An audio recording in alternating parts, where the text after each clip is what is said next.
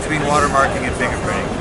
In watermarking, you insert something into the content, which individualizes it. You change the content, so the content is different and it can be tracked to a specific purpose or specific individual.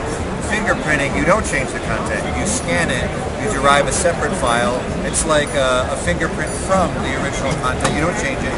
You store that fingerprint that you derived from it in a database. So then in the future, when you come across other audio or video and you make a fingerprint of that, you send that to the database too and compare it against millions of other fingerprints and get a match. Uh, another way to think of the difference, the second way, with a fingerprint, what you're trying to do is identify what the content is. It's this song or it's this movie.